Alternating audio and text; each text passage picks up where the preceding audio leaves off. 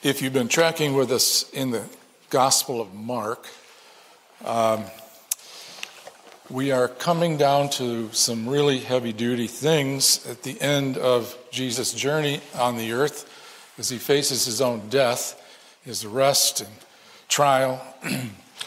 and we'll be moving into that pretty quickly. if you brought a Bible and you want to follow along on our, in our passage today, uh, please take it out. We'll, we'll be in Mark chapter 14 for a little bit. And here's the question for us today, really. Uh, do we openly identify with Jesus when we're around unbelievers, or do we try to hide that fact? That's the question. That's the challenge, really, today, as we look at Peter's denial of Jesus in the Gospel of Mark, chapter 14. Now, Mark does one of his little uh, rhetorical things, and so to see the context of Peter's denial, I have to jump around bit a bit in Mark 14. It'll make sense in a minute. But let's start, if you're following along, I'm going to read Mark 14, beginning in Mark 14, 26 to 31. This is right after the Passover.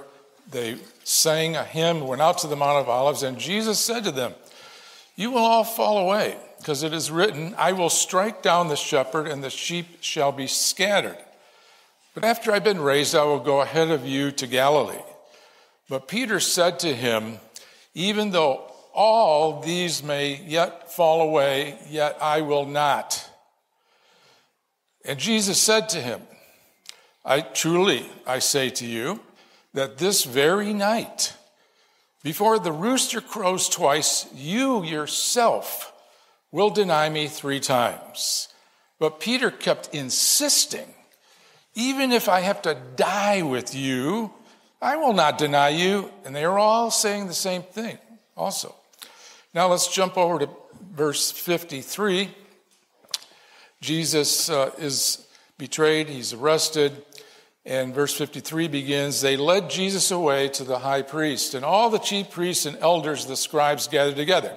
Now, Peter had followed him at a distance right into the courtyard of the high priest, and he was sitting with the officers and warming himself by the fire. Now, right after that, we have Jesus' trial. And then we'll pick it up in verse 66. As Peter was below in the courtyard, one of the servant girls of the high priest came, and seeing Peter warming himself, she looked at him and said, Hey, you also were with Jesus the Nazarene. But he denied it, saying, I neither know nor understand what you're talking about. And he went out onto the porch. Servant girl saw him and began once more to say to the bystander, This, this is one of them. But he again denied it. And after a while, the bystanders were again saying to Peter, Surely you are one of them, for you are a Galilean too. But he began to curse and swear, I do not know this man or what you're talking about. Immediately, a rooster crowed a second time, and Peter remembered how Jesus had made the remark to him, Before a rooster crows twice, you will deny me three times. And he began to weep. it's a very heavy passage. Uh, notice that in order to really look at Peter's denial, we, we had to collect the verses from the entire passage. Why is that? As before, Mark intentionally intertwines these two stories of Peter's denial and Jesus' trial. Like literary sandwich again. Uh, First Peter's oath, never deny you, I'll never fall away, verses 29 to 30. Then Jesus' arrest and trial, verses 53 to 65, followed by Peter's vehement denial, 66 to 72. What's happening here is I believe Mark wants us to compare these two stories, to see the parallels between the witness of Peter and the witness of Jesus. Mark wants us to see that both Jesus and Peter are on trial. Peter is being questioned, Jesus is being questioned. Both are being asked to testify about Jesus. The main issue, actually, in chapter 14 is what does it mean to be a faithful and true witness of Jesus? The word witness or testify shows up seven times in Mark 14. It's a very important word in the New Testament. Uh, it's the Greek word martyros, from which we get the word martyr. It means to tell the truth as a witness to something in general or about Jesus in particular when you're in the New Testament. It means to tell the truth even if it costs you a lot, even your life. That passage really is challenging us to ask ourselves do we have what it takes to be a true witness of Jesus? A person of integrity tells the truth about who we are, who Jesus is. Now, I'm going to look at, the, there's so much to talk about here. I'm going to look at this passage over the next two sermons. Today, this message, I have three main points. We'll look at the witness of Peter, the courtroom of life, and the healing of our failures. First, let's look at the witness of Peter. In chapter 14, we see that Jesus is being a very faithful and true witness as he stands before uh, the religious leaders, and we'll see it again when he stands before Pilate. Peter, though, is not. it's really easy to see Peter's failure in the text. It's front and center for us. Uh, we're going to take a closer look at what happened, Peter, and a failure to be a true witness for Jesus. You see, I don't know if any of you have been in court before, uh, legal, any legal proceeding in a court of law. And you know that before you give your testimony, they swear you in. You swear to tell the whole truth, nothing but the truth. Peter's failure as a witness actually begins in the passage we started with, Mark 14, 29, 31. Peter said to Jesus, Even though all may fall away, I will not. Jesus said, Truly I say to you, this very night, you yourself will deny me. Peter kept insisting. On the point of death, I will not. You know what he's doing? He's taking the stand. I swear. As a, here he is as a witness, you see. I swear I will not deny you. Peter willingly takes the witness stand, swears himself in, swears he's going to, upon his death, be faithful to Jesus. The other disciples may abandon Jesus, but he won't, even if it costs him his life. now, in the next passage we looked at, when Jesus is arrested, we're told in verse 54 that only Peter followed at a safe distance. But let me tell you something. When it comes to being a witness for Jesus, there's no such thing as a safe distance.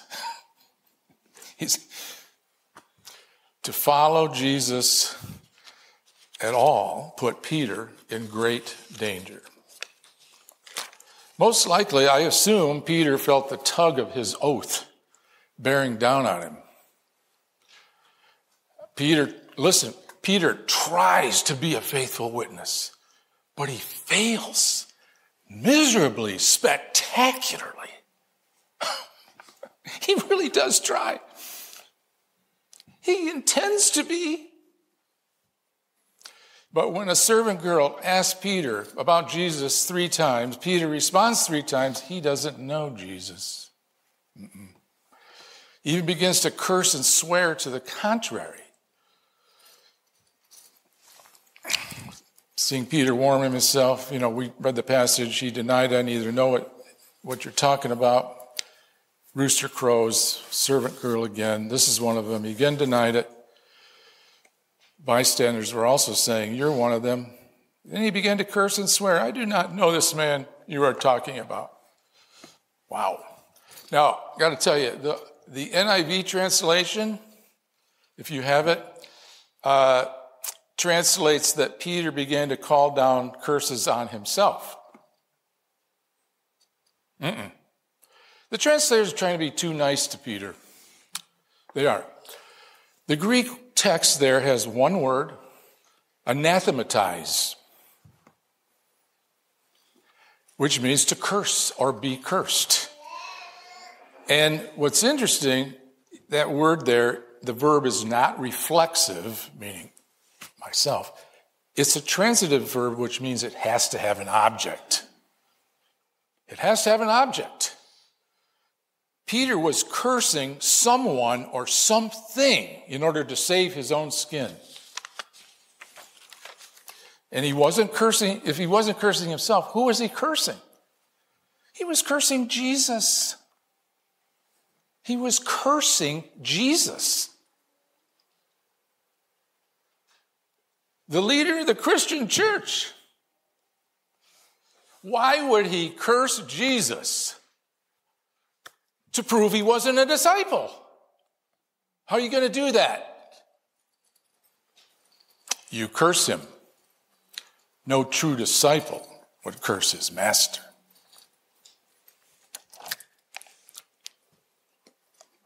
Peter saved his own skin,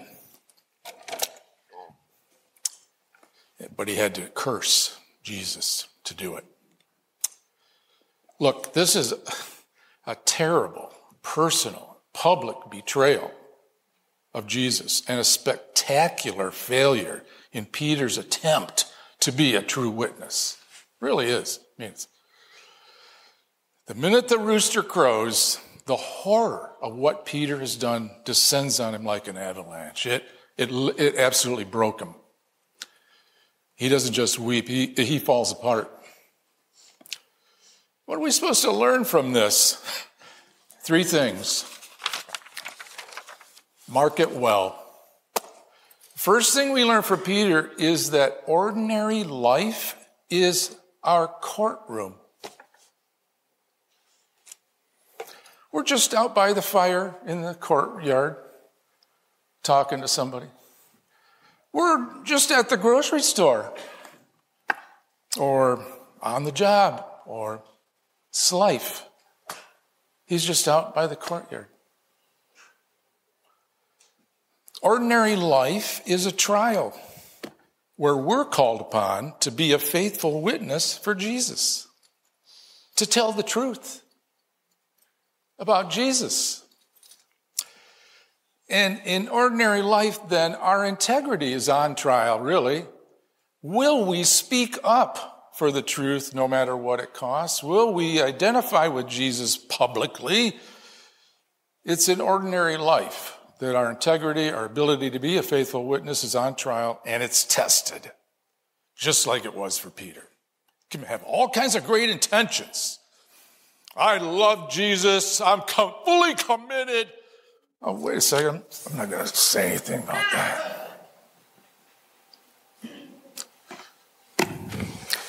Listen to me. Peter had more reason than anyone to be faithful, be a faithful witness. Are you kidding me? He made a promise. He swore to Jesus face to face he would not deny him. How can you get any stronger accountability than that running through your system? You can't. He made a promise, Jesus, and being face to face with Jesus was some serious accountability and motivation to keep your word. Peter had more reason and tried harder than anyone to be a faithful witness, and listen to me, he failed miserably. And Peter failed for the same reason we do. We're basically cowards.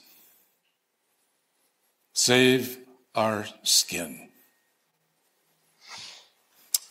We would rather be silent, kind of incognito, so that nobody gives us any flack or judge us or reject us. We don't want anybody to know who we really are, because if they did, you see, then, oh, they would expect us to walk the talk.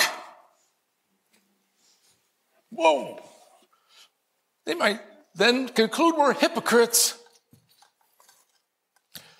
None of us wants to be judged. We still want the approval of others to feel good about ourselves, and we'll try to save our own skin. We're basically cowards, really, myself included.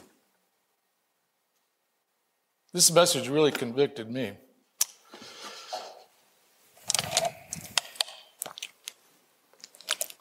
But we're not going to stop there today. We need to move quickly, quickly on to the next point, which is third thing we learn from Peter is that God can heal us of our failures to be his witness. What we understand here is Peter did eventually become a faithful and true witness that he wasn't here. The passage actually bears witness to the fact that Peter was healed. You see, the Gospels are oral histories passed down by the eyewitnesses themselves to the apostles, to the writers of the New Testament for decades. These eyewitnesses who lived, moved during Jesus' time, and these eyewitnesses told their stories of what happened to them in their encounters with Jesus, and they told us in great detail. People like Bartimaeus, Nicodemus, Mary and Martha, Zacchaeus, the lepers, the blind, the lame, the demon possessed, all of whom Jesus healed. They all passed down their stories in the written record of these gospels. And in addition, of course, the 12 disciples told, passed down what they saw and heard and witnessed. But if you remember, when we began studying the Gospel of Mark, I mentioned that there's evidence that this gospel, Mark's gospel, is actually Peter's eyewitness testimony. We know from the New Testament other writings that Mark was a disciple of Jesus and he was a companion of Peter. And in his gospel, Mark mentions Peter more than any of the other gospels. There's never anything that happens when Peter's not present in Mark's gospel. Peter's always there, collectively or individually. and you see, there are little details throughout the text that only Peter would have known who was there. Like verse 66, where we're told Peter was below in the courtyard when Jesus was brought into Jerusalem. Well, being below the courtyard is a detail that is unnecessary really to advance the plot. It's just a, it's just a side detail. It's where he ended up. Why would you include it? The details are there because they are being remembered. Here's what I did. Here's where I was. Here's what I said. As a result, Mark is the only gospel where we learn that Jesus' trial took place on the second level. What this means is that the Gospel of Mark is testimony that Peter was healed. He, he was changed. After all this was over, Peter was so deeply healed that he became one of the leading eyewitnesses. He publicly testified for decades what Jesus did for him by the grace of God. For instance, when we come to the book of Acts, Acts chapter 4, verse 13. Uh, people are listening to Peter and John now as they observed the confidence of Peter and John and understood they were uneducated, untrained men and were amazed. They began to recognize, haven't been with, they were with Jesus. Or keep going, Acts 4, 18 to 20. When they had summoned them, they commanded them not to, not to speak or teach at all in the name of Jesus. But Peter and John answered and said, whether it's right in the sight of God to give heed to you rather than to God, you be the judge. For we cannot stop speaking about what we have seen and heard. There's a witness. And also, during the persecution of Christians that was being ramped up during the first century in the time of Nero, around 65 AD, when Peter and the apostles were still alive, it, it really became fatal to admit you were a Christian. So many Christians died for their faith during that period. And when the authorities did finally come after Peter, there's written testimony of those who were there who heard him say, Take me, without any hesitation. It's extremely astonishing, you see. Think about it. The foundational documents of the Christian church, the Gospels, show that the greatest leader in the Christian church was an enormous failure who cursed his master. No other culture or religion would have ever allowed Peter to be a leader. Somebody who did that. But several days later, after all of this, and something happened in Peter's life. It healed him, equipped him to be the leader he could never be on his own. We're going to talk about more about that next time in part two of this, but in John chapter 21, when the risen Christ met Jesus, met, met Peter at another fire on a beach, he um, asked Peter three questions, making him painfully retrace his threefold denial. Jesus asked him, uh, Do you love me more than these? Well, first you got to ask yourself, what do these mean? More than what?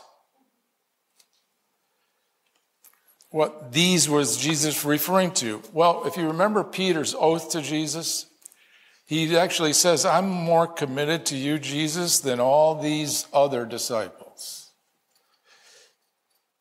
Nobody's more sold out to you than me.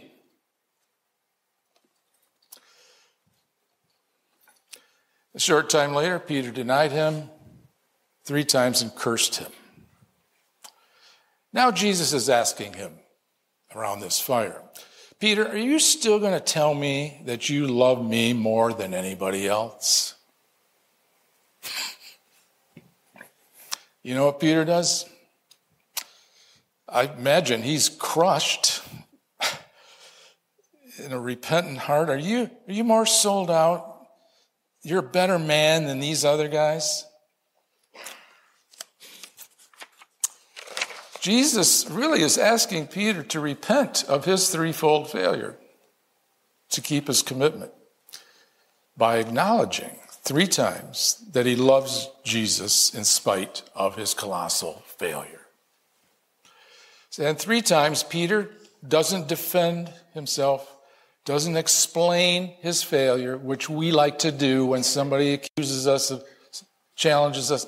We, we run right, make our case. Here it is. Why I'm a good person. I'm not a failure like you're making me out to. He didn't do any of that.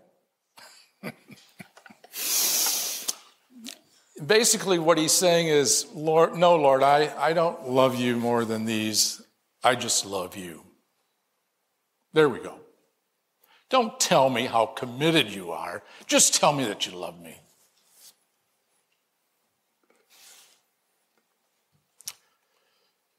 And every time, every single time, Jesus leads him to repentance. Do you love me? He didn't say, Why did you do that? No. Do you love me, Peter? Do you love me? Are you still going to say you're you do love and more committed to me than these? No. I just love you. Well, then feed my sheep, lead my church. Out of that failure, you become my faithful, true witness. It's a lesson for all of us, really, about failure. See, listen, uh, what struck me as we bring it down to us, you see, in a shame based culture, that would have never happened.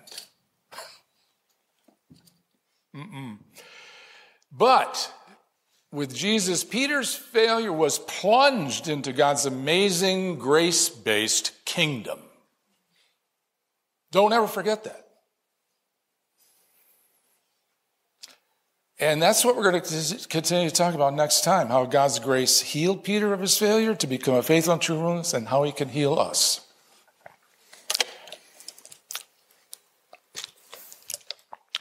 I know what it's like. One of the hardest things for a Christian to learn is how to live by the grace based culture that Jesus makes possible. Most of us grew up in and may still be in a shame based culture. It's sad. And every failure leaves us with guilt ridden shame. We beat ourselves up over and over.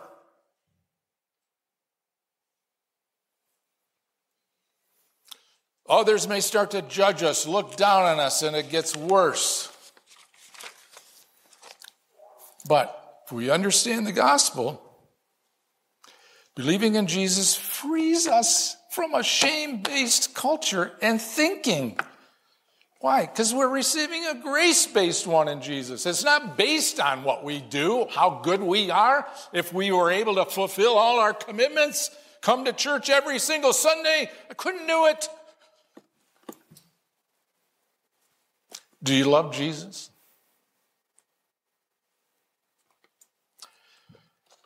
It's not based on the things we've done. The gospel says we or we haven't done. It's based on what Jesus did on our behalf.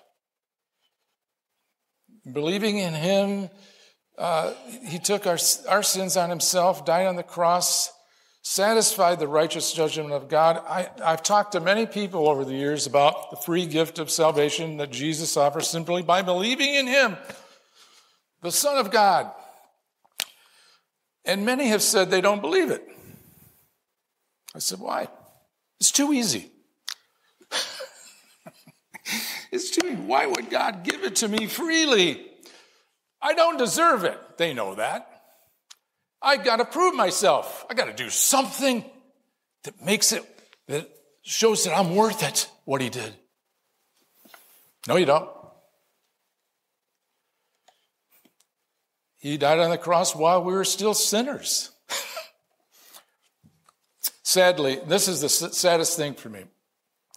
Our shame based culture and thinking can actually keep us from humbling ourselves and receiving God's gift of forgiveness and eternal life. But I invite you, you're here today and you've never believed in Jesus be your Savior, I invite you to be plunged into God's grace. Plunge yourself. Repent of the thinking that you can save yourself. Somehow you're never going to be a failure. Uh, you, you're, you're a Christian and you're a good person.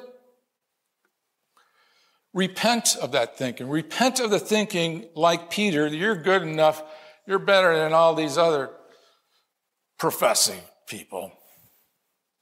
Repent of living under the condemnation you've put yourself in or others have and believe in Jesus to, and you'll receive freedom grace, the gift of eternal life. Hope you can keep with us next week as we continue these thoughts. Let's pray. Father, thank you, thank you, thank you for the grace that you have given us, that Jesus came to give us new life and deliver us from our sin, our guilt, and our shame. We know we're not worthy, Lord. We're sinners, every single one of us. Even our righteousness before you is like a filthy rag. None of it merits your approval of us. We need Jesus. Thank you that you gave us his righteousness to stand approved and justified before you. Father, we ask you to help us recognize the ways we're all still prone to think and behave according to shame. Please lead us to live by faith in the grace you've given us in Jesus Christ our Lord. I pray in his name. Amen.